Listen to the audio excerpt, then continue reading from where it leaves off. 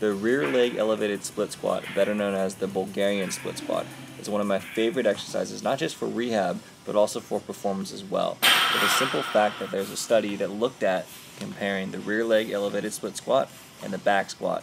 And essentially, for almost all the different muscles they tested, including glute max, rectus femoris, gastrocnemius, muscle EMG activity was essentially essentially the same. Now the big difference with the Bulgarian split squat is that it had a higher glute med and biceps femoris EMG activity.